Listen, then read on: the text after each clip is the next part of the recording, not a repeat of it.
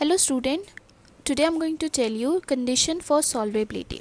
Here is I have written first condition that is a1 upon a2 is not equal to b1 upon b2 that is unique solution unique solution का मतलब होता है एक solution ठीक है और second condition है consistent consistent का मतलब होता है कि जिसमें सॉल्यूशन पॉसिबल होते हैं ठीक है? और थर्ड है intersecting intersecting line intersecting line का मैंने यहाँ पे शो कर रखा है कि यहाँ पे जो L1 है और L2 है, ये दोनों आपस में इंटरसेक्ट कर रहे हैं एक पर्टिकुलर पॉइंट पे। तो ये तीन कंडीशन आती है यूनिक सोल्यूशन में। हुँ? अब सेकेंड कंडीशन है a one upon a two is equal to b one upon b two but not equal to c one upon c two इसमें क्या होते हैं? नो सोल्यूशन होते हैं।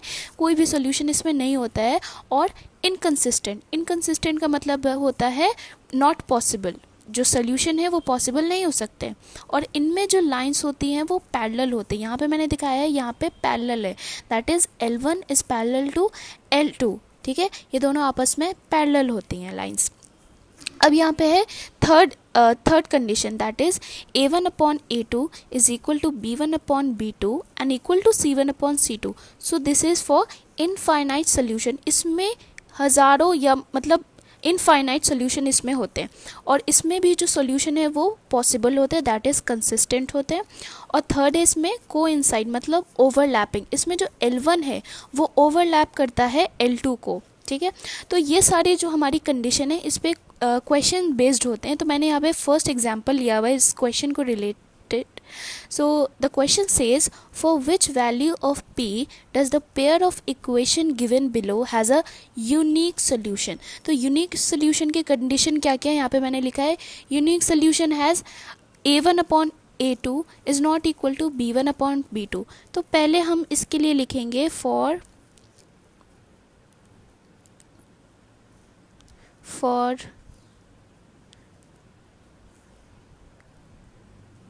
unique solution. We have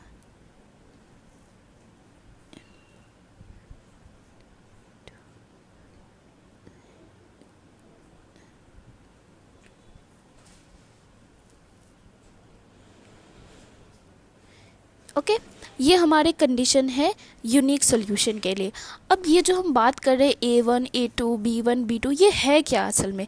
तो ये जो है हमारे कोफिशियंस है। कोफिशियन एक्स के वाई के और कांस्टेंट के। ठीक है? सी हमारा कांस्टेंट है। इस कंडीशन में सी का कोई काम नहीं है। यहाँ पे सिर्फ़ ए का काम है और बी का काम है। तो ए वन फ़र्स्ट पेयर में जो ए वन है, वो क्या है? फोर है। क्योंकि ए वन का मतलब है एक्स का कोफिशियंट ठीक है?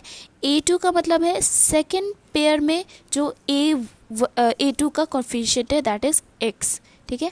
तो यहाँ पे हम लिखेंगे four upon upon two is equal to p by two यहाँ पे बी वन का कोफिशियंट क्या वह है? पी है, y का कोफिशियंट p है और b2 का कोफिशियंट 2 है। तो अब हम यहाँ पे कैंसिल इसे कर सकते हैं। यहाँ यहाँ आ जाएगा टू यहाँ आ जाएगा वन सो पी यहाँ पे नॉट इक्वल का sign p is not equal to two into two यहाँ पे हमें क्रॉस मल्टीप्लाई करना है, ठीक है? अगर हम वन को पी से इंटू करेंगे तो वन आएगा और टू को हम टू से मल्टीप्लाई करेंगे तो यहाँ पे आएगा four so p is not equal to four I hope this is clear to you. If you have any doubt regarding this video please put it on my comment section. And please don't forget to like and share my channel. Thank you